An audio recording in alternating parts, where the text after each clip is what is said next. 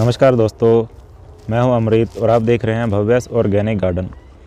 दोस्तों, आज का वीडियो उन लोगों के लिए है जो अपने काम कार में बहुत ज़्यादा व्यस्त हैं और पौधों के ऊपर प्रॉपर टाइम नहीं दे पाते।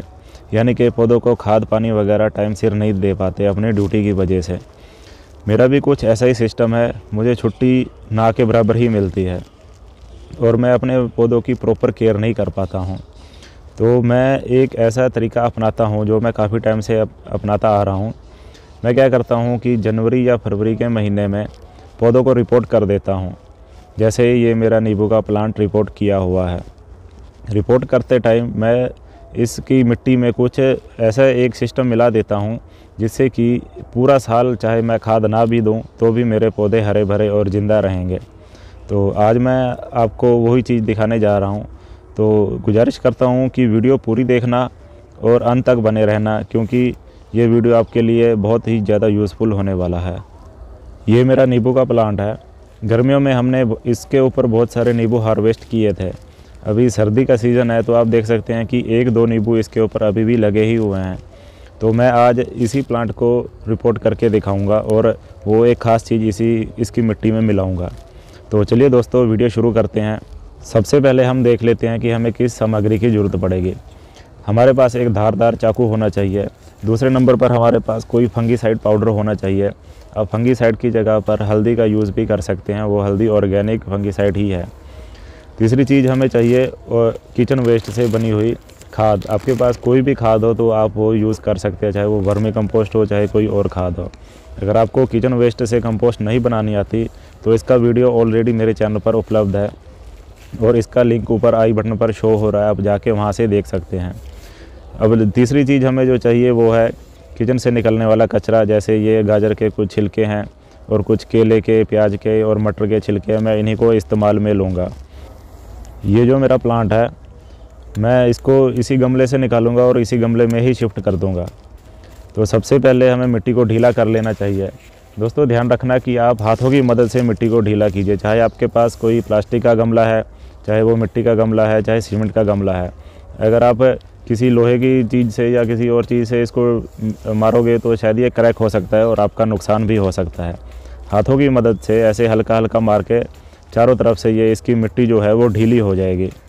मिट्टी ढीली होने के बाद अब बड़ी आसानी से इसको खींच के बाहर निकाल सकते हैं।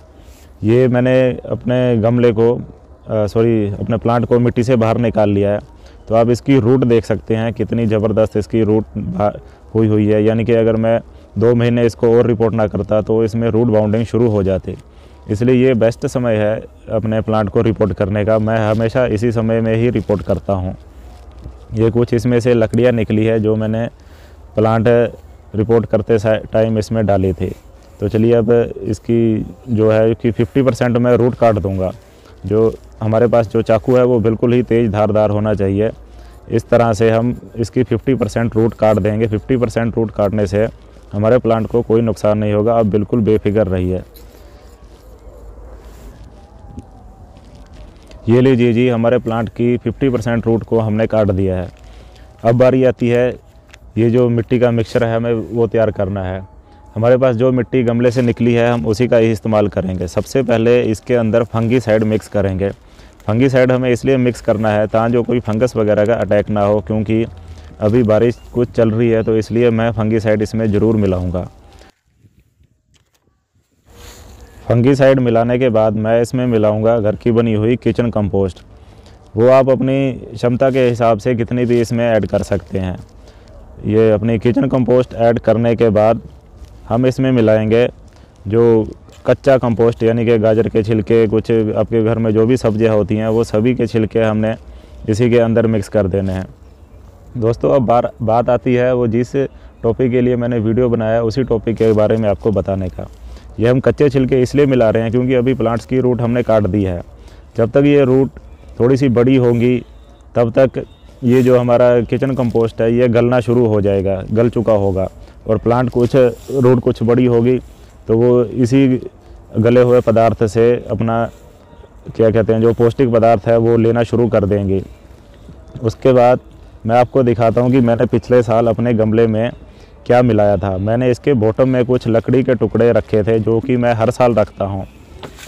तो जैसे ही प्लांट की रूट बड़ी हो, होके बॉटम तक पहुँचती है, उसी समय ये जो है लकड़ी, वो भी गल चुकी होती है। और आप ये देख सकते हैं कि इसकी जड़ें लकड़ी तक पहुँची हुई है, यानी कि ये लकड़ी से अपना पौष्टिक पदार्थ लेना शुरू कर चुका है। इसीलिए मैं हर साल यही नुस्खा अपनाता हूँ। मैं जब भी प्लांट को रिपोर्ट करता हूँ तो उसके बॉटम में कुछ छोटे छोटे लकड़ी के टुकड़े ज़रूर रख देता हूँ। जैसे अभी ये मेरे पास लकड़ियाँ हैं, मेरे पास कुछ पतली पतली लकड़ियाँ आप किसी भी तरह की लकड़ी रख सकते हैं। इतने में प्लांट की रूट बड़ी होंगी, तीन चार महीने में, पाँच महीने में, तब तक ये लकड़ियाँ गल चुकी होंगी। तो इसका फ़ायदा दोस्तों हमें ये होता है कि चाहे हमें दो महीने, तीन महीने बाहर जाना भी पड़ जाए तो खाली सिर्फ़ हम इसको पानी देते रहेंगे अपने प्लांट को। हमें कोई और खाद वगैरह देने की ज़रूरत नहीं है। ये अपने आप ही जो खाद पड़ी है, वो स्लो रिलीज़ फर्टिलाइज़र है, उसी से ही अपना पौष्टिक तत्व लेते रहेंगे और हमारा प्लांट कभी भी बिना खाद की वजह से मरेगा नहीं। तो दोस्तों, ये था हमारा आज का वीडियो। आशा करता हूँ कि वीडियो आपको बहुत पसंद आया होगा। दोस्तों, अगर वीडियो पसंद आया तो please like share and subscribe ज़रूर कर लीजिए। और अगर मेरे चैनल पर नए हैं तो कृपया चैनल को सब्सक्राइब ज़रूर कर लीजिए। मिलते हैं एक नई वीडियो में। तब तक के लिए बाय बाय